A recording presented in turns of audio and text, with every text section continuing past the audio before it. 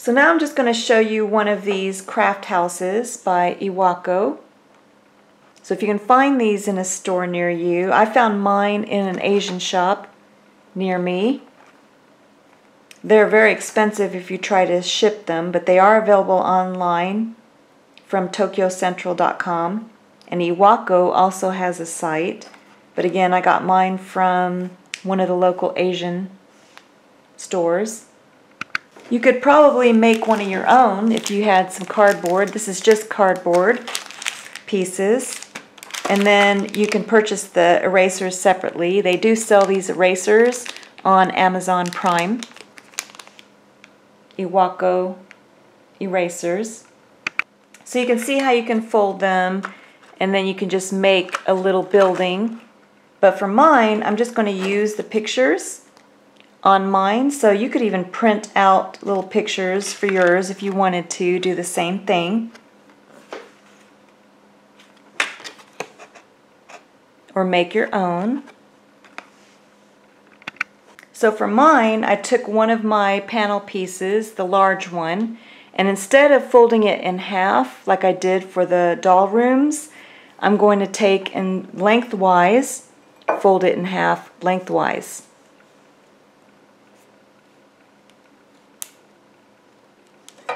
And then I'm going to cut it right down the center lengthwise. Then I have two long rectangular panel pieces that measure 18 inches by 6 inches. One for the back wall and then one for the bottom panel. And then I wanted to make some walls so what I did was I took a third panel piece, so I have one for the bottom, one for the back wall, and then for the dividing walls, I took a third panel piece, and then you're going to take and cut into 6 inch by 6 inch squares. So we already know it's 6 inches in height, so now in length I want 6 inches. So I'm just going to measure 6 inches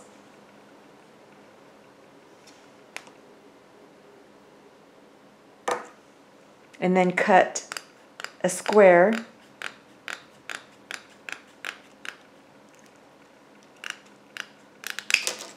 So now I have a 6 inch by 6 inch square and then this one will be sewn as a divider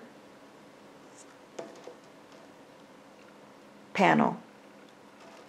So you'll need three of these which will cut perfectly from that third panel. So you'll have three 6 inch squares. So now I have three 6 inch squares and two of the longer panels. And that way I'll have dividers for the cake shop, one for the little zoo, and then one for the little log cabin.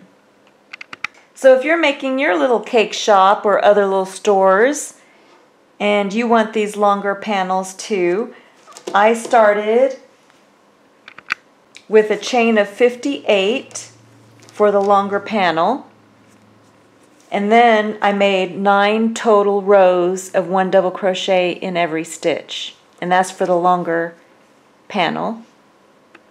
And then for the six inch squares for the stores, I made panels where you start with a chain of 22 and then you also make a total of nine rows to cover the squares. So for mine, I'm using a darker blue for the outside and then I'm going to use a lighter blue for the inside of the stores.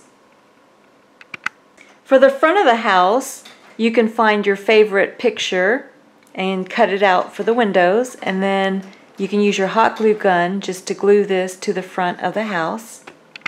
So you just grab your hot glue gun, make sure that you have the windows even on both sides, but you can see that it worked perfectly. I really like how the windows look on the front with the door. So the glue gun works great.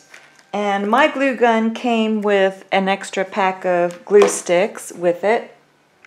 And you can take and cut out, I just printed up pictures of windows that I liked and I cut them out and then just glued them to the front where I wanted to place them. So now I want to show you how to join two pieces, two panels. So remember that you need the bottom panel and then the opposite panel. So for this one, I'm using the panel with the door, but you could also use the panel with the window, whichever panel that you want to use for the back wall. So the side walls will go here on this side as well as this side. So this is the bottom panel, and then this is the back panel, and that's where I'm putting the front door. So take your bottom panel, the rug, and place it in front of you so that the right side is facing up, and then take your back panel and lay it right on top. So now I have the right side, or the side that I want facing out towards the outside of the dollhouse is facing up. Then I'm going to take and join my crochet hook into the corner of the two panels that I want to join. So just go into the corner panel of both, the stitch on the corner panel. Then you're going to bring up a loop with the same colored yarn as one of the panels. So I'm just using the same colored yarn as my top panel. Then you can chain one and then just tie a knot.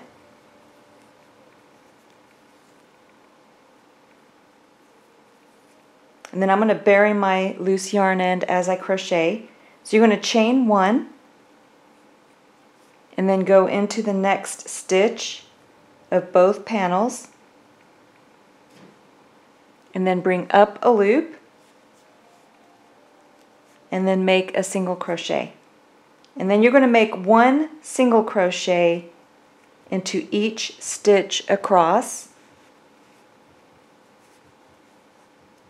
So go ahead and make one single crochet into each top stitch of both panels.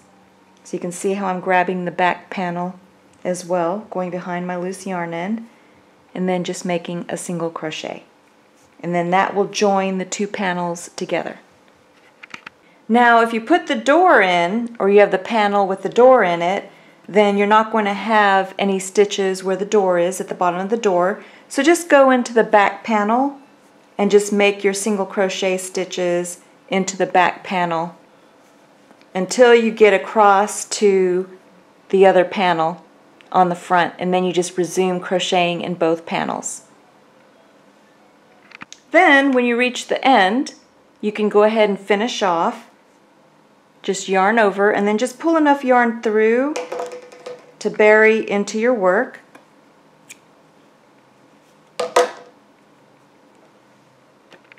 Then just take your tapestry needle, put it onto your loose yarn end, and then just bury it right into your work. Just kind of weave it into the crochet work.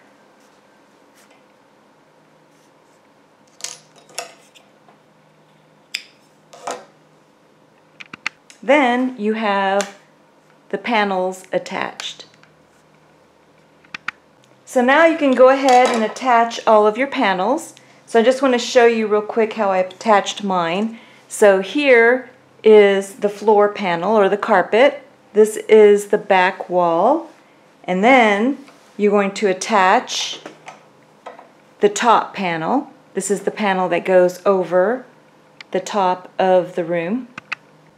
Then the side panels will go on either side of the back wall. So here's a side panel, and then here is a side panel. So then when you lift it up, you have the carpet, the side panel, the other side panel, the back wall, and then you have, if you want, you have the top that will come up on top of the room. But I usually just keep the top folded backwards so that the top is open.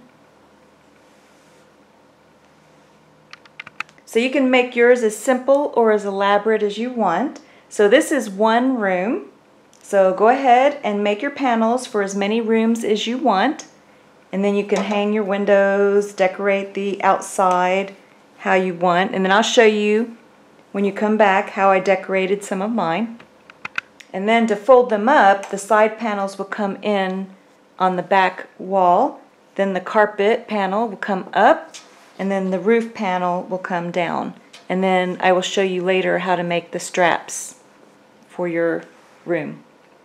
So I just want to show you how my long panel looks. So this is the top. I'm just going to open that up. Here is the bottom. Open that up.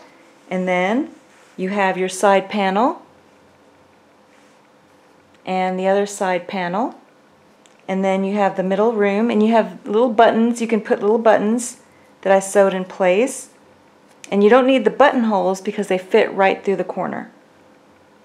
So you can open up your the middle compartments and then you have the side compartments and then the top compartment I usually just keep folded back. So you can see how it's just folded in the back here. And then I have the middle compartments. So I just sewed the middle panels. So these middle panels are made the exact same way as the side panel. And then you can glue whatever you want on the outside as well as on the inside with your hot glue gun. And then if you want your side panels to stay in, stay in place, you can sew a little button and then use the corner as a little buttonhole, so the corner of the side panel. And then you have a little decoration as well as a little button. And it'll hold the side panel in place. And then also, what's fun about these middle panels is you can either use the buttonhole to hold the panel in place, but I also made it so you could fold it back and make the rooms larger if you want. So if you want this room to be larger, you can fold back one of the side panels and button it in place. Or if you want the other room larger, you can button this one in place. So I just sewed a button right onto the floor panel. And then you can button this middle panel in place. And then you can open up and make the little cabin portion. I made this into a little cabin room. And then the other side panel you can just take and button in place as well. So you can strategically place your buttons wherever you want and design it how you want. So now I have a larger room here and then a smaller room here. So that's the fun that you can have with this one. And if you wanted to, you could just unbutton it and then just make one large room. So you have fun with your panels however you want to create them. So this was just an idea that I had on one of mine if you like this idea. So if you're making the store with the cake shop and the little log cabin, then you're going to need three panels that are 18 by 6 inches and you're going to need four of the 6 inch by 6 inch squares. So you have one on the side here and then two on the inside and then you have one on the other side.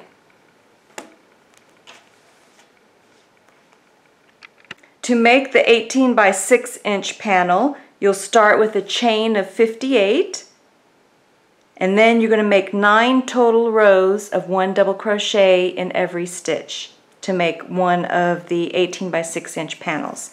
And then for the 6 inch by 6 inch square, you're going to start with a chain of 22 and then you need a total of nine rows of one double crochet in every stitch.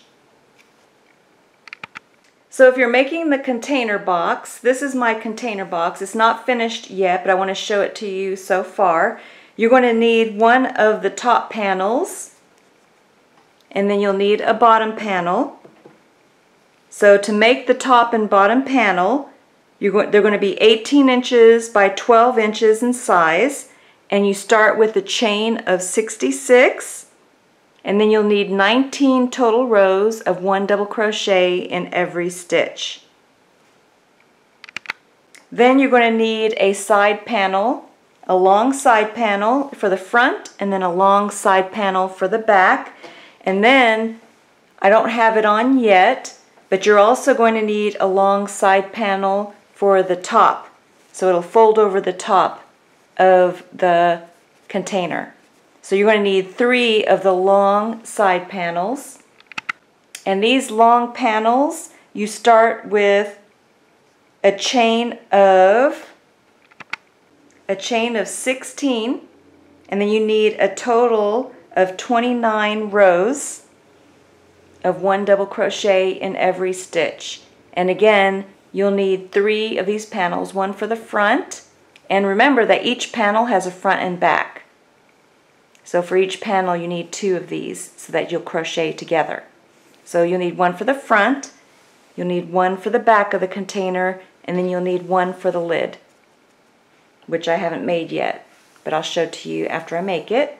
It's going to crochet, I'm going to crochet it right to here to the front of the top lid. Then you're going to need a side, a smaller side panel on this one side and then one on the other side. And then when you close the lid, you're also going to need another one for the top lid. So you're going to need two for each side of these smaller side panels. Now these smaller side panels, they measure 12 inches by 4 inches and you're going to start with a chain of 16 but for the smaller panels you only need one double crochet in a total of 19 rows. So you're going to need two panels and remember each panel has a front and back. So you'll need two, one for the side and then one for the lid and then one for the side and then one for the lid. Now you're also going to need some for the inside for dividers. So for the width divider I'm going to use two and then for the length I'm going to have different sized ones. So for the middle I made two additional panels the same size as the side panels. So you'll need a total of six of these side panels. So if you include the front and the back, remember for one panel you'll need two of them for one panel. So I'm, I'm talking about a completed panel. You'll need two for the one side, one for the side, and then one for the lid.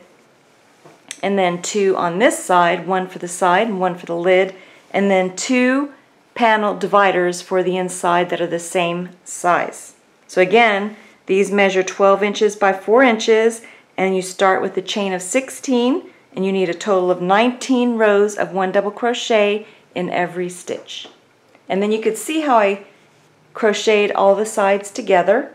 So I chose a little light orange for the inside and then on the outside I have a light pink. So I had fun with the colors.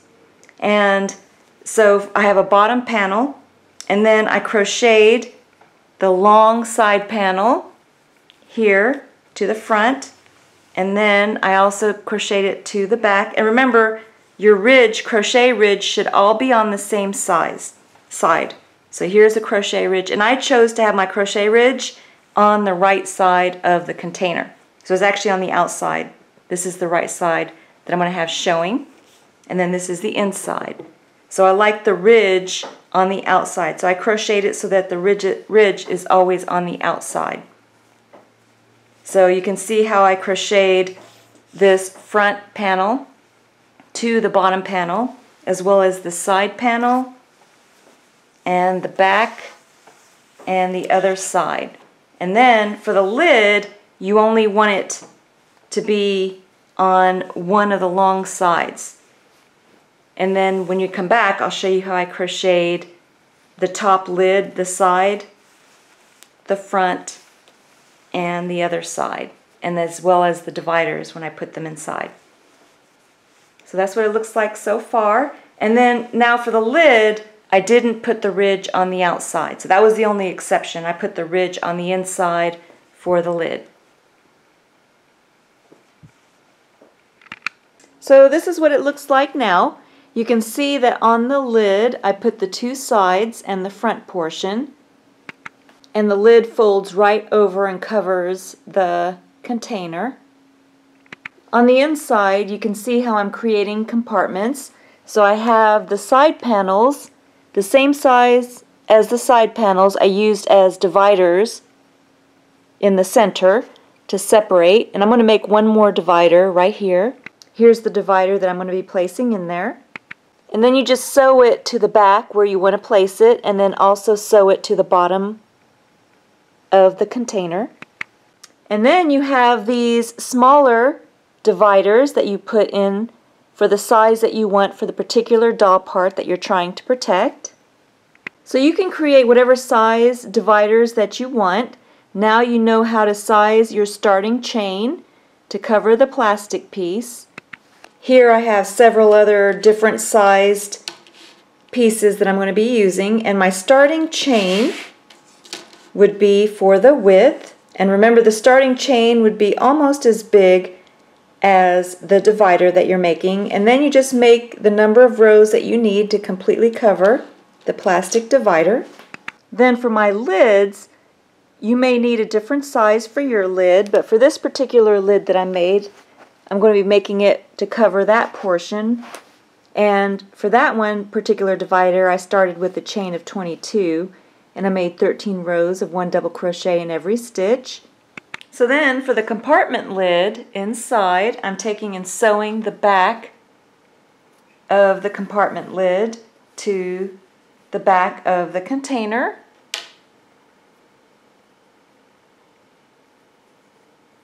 And I'm just going to sew along the back edge.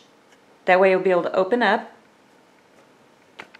Now for mine, I'm sewing it to the back ridge of the container so that you can't see the stitches on the right side. So if you want to sew all the way through, I would recommend using the same colored yarn as the stitch that you're stitching it to if it's showing on the outside. So this on the back side is a pink, the glitter pink. So if you're not going to sew it to the ridge like I am, because I'm using my purple yarn and I'm sewing it to the ridge so you won't see it on the right side. But if you don't want to worry about that, then you would just use your pink glitter. So in other words, just be careful when you're sewing this along the back side that on the right side you don't see the purple stitches if you're using the same colored yarn as your container lid. So then you should have a nice container lid and this will keep your stuff from falling out. And what I like about making this is I can make my containers the size that I want. So, but if you can purchase one that would fit all your stuff um, and has the large container sizes to fit all of your doll items, then you can just get one of those. But if you want to make your own, this is how I made mine. And now that I have the lid in place in the back, I'm going to put buttons here to hold it in place. And I have my mix of buttons. I just bought this inexpensive pack of buttons from Walmart and they come in all kinds of different colors. And I'm going to use the little purple ones so I'm going to use two of these purple ones to hold this top container in place. So I'm just going to use one of my slender tapestry needles. I need to get a new DMC yarn threader. My hook is bent, but it still works until I can get a new one. But you just put the hook through the eye of the slender needle that will fit through the buttonhole. I'm just going to hook the yarn and then bring it back through my hook is bent. There we go. So I got it back through the eye and then I just kind of jiggle it up and down to get the yarn through. And then it's ready to sew your button in place. So I'm going to sew one button here and then one button on the other side. And you don't need buttonholes if you made your container covers the same way that I did because the container covers have spaces between, let me just jiggle this through. So here you can see that in the corner you have a space there that can act as a buttonhole and it works perfectly. And with these, with the yarn that you use, you only need to go through once, which is why I like to use the yarn with my tapestry needle to sew it in place. And then I'm just going to sew a couple of or tie a couple of knots, around five knots or six. Because I'm not going to bury the loose yarn end, I'm just going to trim trim the loose yarn ends and the knots will uh, bury your loose yarn ends for you. So if you make multiple knots. And then you can just trim it and then you have one button in place. This is what it'll look like on the other side. And then you're just going to put another button on the opposite side. So now I have both of my buttons in place. And you can take and just use the spaces on each corner to close the compartment lid. So there's one.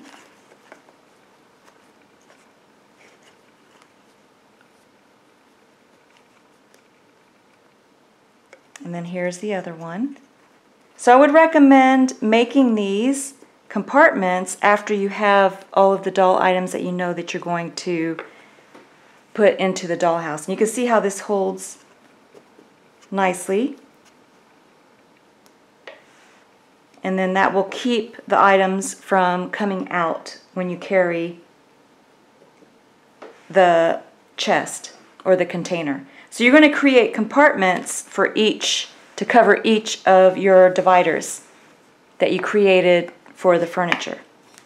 And when you come back, I'll show you what mine looks like. So for my doll suitcase, I added a compartment on the back. Actually, it's on the lid. So the lid portion, I added a back compartment, and all I did was make the same size as one of the longer panels, except I made it a little bit shorter. And I only made one of the crochet panels, and then I sewed it all around, except for the top. And then I placed a button that one of the double crochet holes will act as like a buttonhole and then you can just close that. So that's optional if you want to do that for yours. To add stability, I made these little button. So I used one of the dividers. Actually, I made four dividers and I use them as button straps and they just act for to make your suitcase stronger. So you can see that I attached one, two of them for the top and then two for the sides. And that holds the lid in place. And then for the straps, if you like how I made the straps, you need to attach the straps to the side of the suitcase, so not to the opening. You just attach it to the side. And to make these straps, I started with a chain of seven, and then made a double crochet into the fourth chain from the hook, and then one double crochet in every stitch back across to have five stitch total for the width of the strap. And then I made one double crochet in every stitch for 15 rows. And I made two of them. So I attached one on this side and then one on the opposite side. Then to open the suitcase, you just need to unbutton. So for my buttons, the buttonhole is just the corner of the divider strap. So you can see how I undid all of the button straps. And my button straps measure 4 inches by 5 inches each. And then once I open the lid, this is the top portion. So you can see that on the top portion, that is where I put my extra compartment. So it's right on the lid. And then on the inside, I have little flaps that you can unbutton that hold the doll items in place. And you can decide if you want to leave some of the compartments open. Eventually, I'm probably going to put another compartment lid over this portion, but for now I don't have one. So you would make the compartment lid the exact same way as you did for the others. So for mine, I'm just going to make one long one that would be sitting just like this. So I would cover this plastic mesh the same way that I did for the others. And then I'll put a couple of buttons here to hold it in place.